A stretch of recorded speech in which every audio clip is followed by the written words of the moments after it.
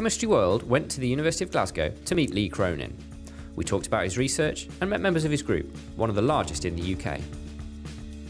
Cronin's research interests include complexity in chemistry, the origins of life, and the automation of chemical research using robots and intelligent algorithms. He told us about his desire to digitise chemistry and to find out how nature created something from nothing when life arose. But he began by describing how his desire to study chemistry faced what, for some, would be insurmountable obstacles. When I was at school, I, primary school, I was streamed in the learning difficulties group for just I wasn't progressing as fast as people wanted me to progress. And I never really thought it to be much of a problem uh, because I was really interested in taking stuff apart and how things worked, and I was reading and and just fascinated by everything. By the time I got to my GCSEs, I was so far behind in terms of where you, I was streaming, in terms of the the coursework, yeah. and um, my my father intervened at that point and said, "Well, he can't be in the bottom." They said, "Well, he is." Um, and they um, and they allowed me, I suppose, to take the exams I needed to go on to sixth form. Although the teachers were completely confused that I didn't have any doubt in my mind I was going on to do A levels because I needed to do A levels because I wanted to go to university. But then the upside of that, I think, was I realised I could do what I wanted, and no one had any expectation of me. So really, I could just follow my nose. I could just follow what I was interested in. Um, I was always in the li- local library taking out chemistry books and computer science books. I got my first computer when I was nine years old, the ZX81. Managed to get through school, and sixth form was like absolutely a amazing experience because everyone wanted to was interested in stuff. And then at university, equally, everyone again was interested in stuff. I stayed and did my PhD, thought it was amazing, and I was then really hungry to then to pursue my own interests. Yeah and and starting in Bielefeld was really the start of that kind of defining my own conceptual um, place in science because I was always interested in how you could get something for nothing yeah. or how chemistry could organize itself. And that's one of the reasons why I was so excited about going to Achim because he was making these gigantic molecules yeah. that would build themselves with no blueprint. Polyoxometallates are huge, self assembling metal oxide clusters which Cronin worked with during a von Humboldt fellowship at the University of Bielefeld in Germany. He worked with Achim Müller, who has described polyoxometalates as having an almost lifelike complexity.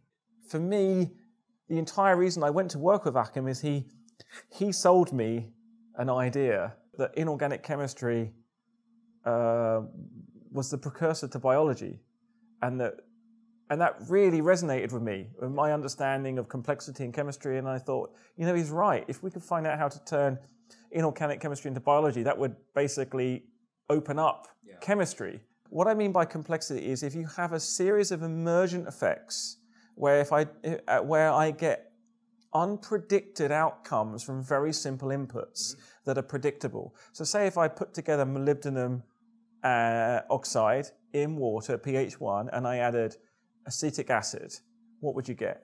Well, you'd say, oh, you molybdenum acetate. You wouldn't expect to get an inorganic fullerene, right. which has got 134 molybdenum atoms, perfect icosahedral sphere, um, nice molybdenum bonds, 30 electrons. Equally, if I remove the acetate and just use hydrochloric acid, I get this molybdenum wheel. I get this different cluster form. So they're very rudimentary examples. The information required to describe the inputs is simpler than the information required to describe the output. And there's no linear dependence. It's a nonlinear dependence. And that's really inspired me in a lot of chemistry. It's like, what chemistry can I do where I can get something out now? It's like it inspired an entirely new theme in my group where we can do stuff that will give rise to what I call novelty. But novelty is not just new, it's unexpected. Yeah. And I was inspired by watching children. You know how children discover novelty? Well, a child would go to a radiator and discover it's hot. They touch the radiator and go, ow. Do you know what they do? They do it again. That's, no, that's novelty then followed by curiosity. So in chemistry, wouldn't it be good if we could app that? If I could do an experiment that gives me something that is completely unexpected, but I do it again just to check it works and it's reproducible. So suddenly I have novelty and curiosity together. And thanks to some really great roboticists I got into my group, they were able to take that child cognitive experience, if you like, and say, oh, this is what I've been doing in my cognitive robotics postdoc, and that's what you mean in chemistry, because I was just going novel, novel, novel, banging my head against the kind of the editor's door, going novel, novel, and they'd say, no, go away, go away. And what I meant was curiosity plus novelty, and that we're working on that a lot. We're studying oil and water droplets that do complex and unexpected things when we place them. And they, we have lots of different inputs. We can have lots of different oils and surfactants we can mix in there. And trying them by sitting down in front of a microscope with a pipette all day was proving not very productive and very, very frustrating. And we wanted a machine that could intelligently decide which formulations to try next. So we built a robot to do that experiment for us. We can get some numbers on how good the droplets are doing what we want them to do. And then an algorithm we choose can use that to predict what experiment to try next. So we have self-propelled oil droplets and they move, often quite rapidly. And we also have droplets that do the kind of thing you'd expect bacteria to do when you look at them under a microscope, which is dividing. And some of the droplets continuously divide and divide until you just have nanoscale micelles. Some of them just divide a few times. Um, we have them fusing together as well, and then we have different types of swarm behavior that we observe. The reason why um, we're doing things at the droplet level is we're using an assisted AI, an evolutionary algorithm. So what I mean is you basically make your droplet, you jangle the droplet, move it around, try and break it, and then then if you like the looks of it, or if it if you basically if it fulfills your expectations, say okay, you're good enough to persist to the next generation, you then keep that formulation and you recycle that around and you make it live artificially and go around again. So the whole idea with a droplet robot was basically to make a, a uh, basically a robotic nursemaid that allows us to evolve droplets and and and select them. Because in time, as we add in chemistry, we are sure that, or we guess that sophisticated machinery that will maintain the droplet's identity and ability to compete with other droplets will emerge. Mm-hmm. I don't know over how much time. Also, it's really cool because there's another spin off coming where we can now do evolved formulations. Okay. A formulation science is a bespoke science where people literally pass down secretly over many generations the secret to making paint dry, whereas we can use evolutionary algorithms now and, and actually non deterministic algorithms to search a vast chemical space and um, and that's where the droplet stuff is going at the moment. Automating chemical research forms another branch of Cronin's research. In this experiment, a series of automatic pumps mix different compounds to see how they react. The products are characterized by infrared and NMR spectroscopy, as well as mass spec.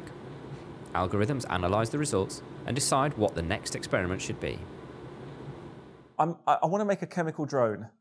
So what I mean by that is um, if I was doing really sophisticated molecular, molecular um, spectroscopy on everything, I would basically do a reaction, um, work it up, mm-hmm. separate it, do high field NMR, do high resolution mass spec, do high resolution eh, infrared.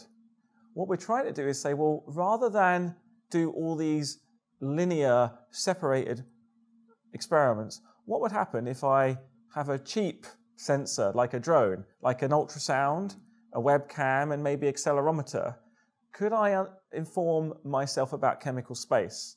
Now, I can't say very much about that because it's very much work in progress, but you can understand from what I've just said and what you've you've seen in the lab that we're very interested in searching chemical space using that type of on-the-fly direction. There's one problem I'm really interested in right now. I've built a robot to do this. Like, if I discover a new molecule in my lab today, my best organic chemists, which I have a few, let's just say they do a nice seven step synthesis and they make a really cool molecule. takes them a year to get all the bits and bobs done. They write down the syntheses. They get they publish it. Typically, um, it would take an expert postdoc or very good graduate student to pick up that synthesis and reproduce it. Yeah. Is that actually a sensible way to do chemistry? So one of the frameworks we're building in my lab right now is a way of making that universal and digitizing that so someone can take that code and say, oh, it's code from this chemistry professor, that group. It's brilliant. It's foolproof. I mean, some groups in the US do it right now. Their SI, uh, the, the guy will remain nameless. His SIs are amazing. Even I could follow the chemistry. And it's take, it takes a huge amount of work. Yeah. could there be a way that you could just download the code, just like a digital code? You can imagine just like, you know, the way you put a bit of software on your phone and it runs yeah. because you, you compile the software to the processor, the ARM processor or the Apple iPhone. Could you use a chemistry environment where, you know, oh, I know that environment, I've got code, oh, the code in this paper ensures it will be reproducible 100% of the time or, you know, 95.5% of the time. And the thing is, people don't admit that that's a problem, mm. or they're beginning to. Now let's fast forward and let's take it for granted that now I can do a 10 or 15 step synthesis that I know I can have in my lab tomorrow because I just download the code and I have the robot. Then suddenly the chemist can work on the next extension. Yeah, yeah. And suddenly molecular space opens up because the amount of molecular space that we are able to search is contingent upon the complexity of the building blocks we put in. Yeah. People who criticize me at using robots think that I'm trying to replace them. I'm not. I'm just trying to replace the boring, irreproducible bit where they make an error. Yeah. The fact that maybe people think it's not possible, that gives me a bit more breathing space.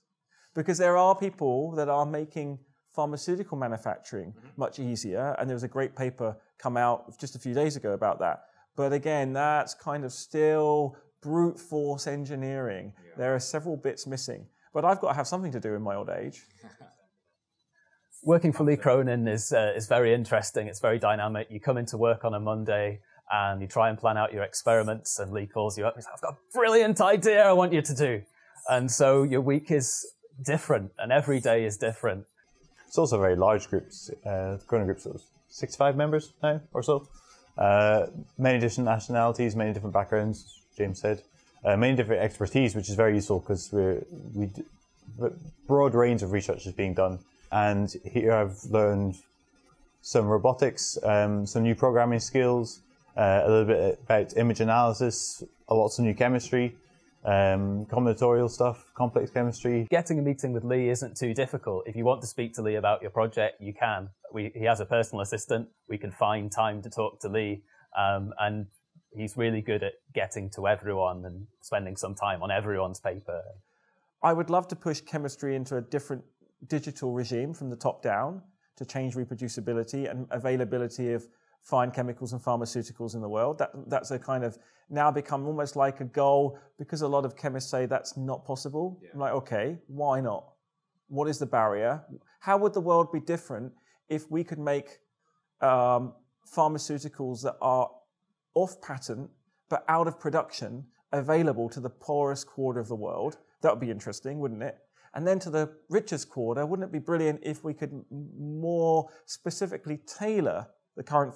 Wouldn't it be great if the tailored world were able to fund the world that didn't have access to any medicine? That would be a brilliant way to close that gap. So that's one objective for the next 10 years to build the entrepreneurial activities we've got. The other thing is, I want to get a hint of the chemical Higgs boson, which is I want to get a hint of what is it about certain chemistries that allows us to get complexity for free that may eventually turn into a biology.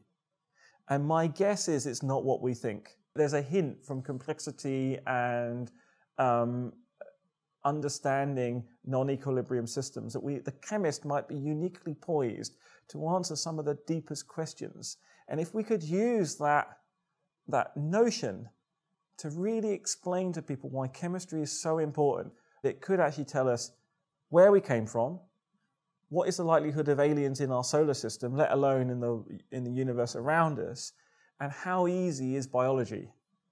I think that's enough to keep me going for that the next 10 years. 10 years. yeah. yeah.